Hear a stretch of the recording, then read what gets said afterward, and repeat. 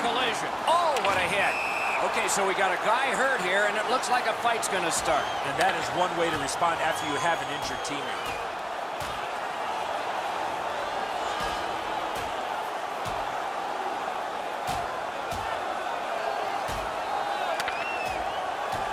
And out of all of this, both receive fighting majors. Before that fight, they started with a little bit more equipment on their body. It's going to be hand-delivered by their teammates.